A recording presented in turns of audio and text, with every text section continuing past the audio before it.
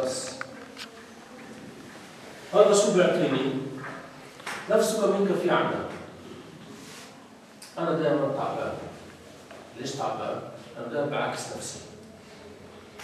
أحسن ما أروح أتطوع وأشتغل بأشغال أبصر شو مرات شاقة مرات صعبة مرات على حساب بيتي وعلى حساب مرتي وعلى حساب مراتي وعلى حساب صحتي. أنا كنت بقدر أكون زي زي غيري قاعد بالليل وأشرب جنبها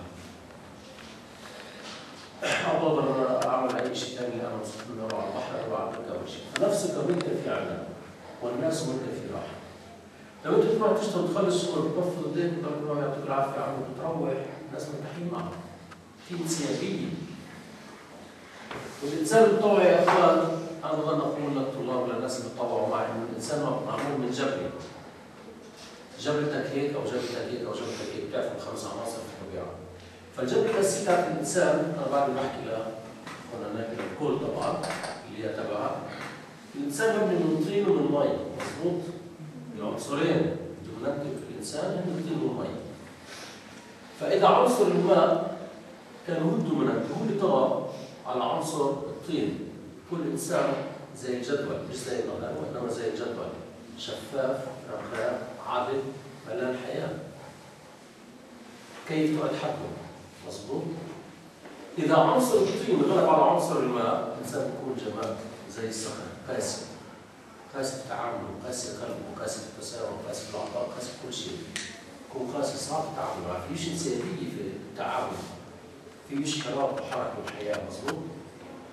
فالإنسان المتطوع هو بيكون دائما عنصر الماء غالب على عنصر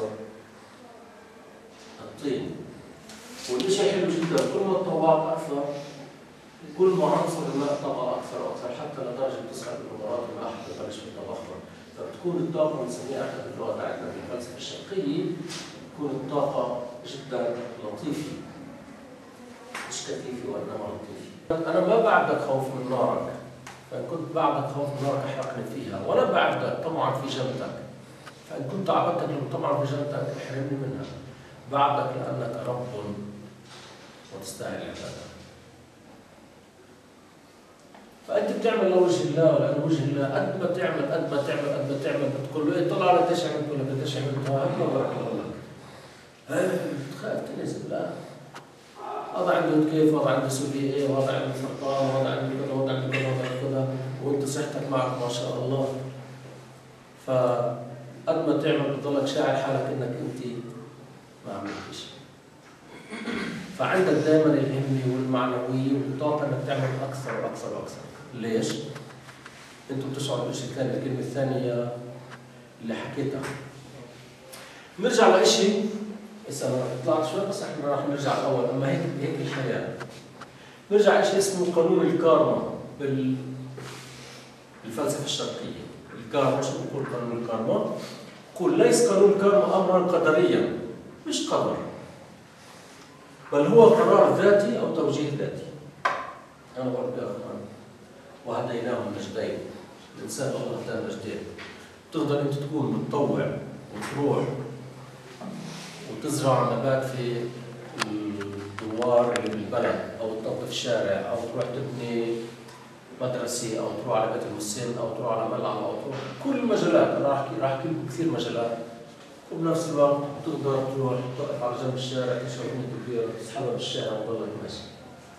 وبتقدر تروح تمسك مية كولا واصحابك معك وتمسك كولا وتشرب على الخمر كوبايه شمال وضعك يمين وأنا قلت مجتمع بزت عدت الأسكن ابنه قدامه بزت على الشارع هذا عنف رهيب.